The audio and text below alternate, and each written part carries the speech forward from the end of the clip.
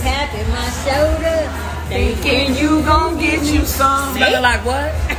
Praise Fragrance that I don't even wear. I don't wear that cheap shit.